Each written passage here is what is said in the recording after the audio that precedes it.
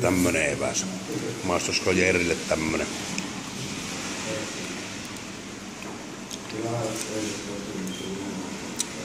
Tämmönen Hassan kebappi Haaparannalla tarjoaa tämmöistä ruokaa. Hyvää. Ravitsevaa.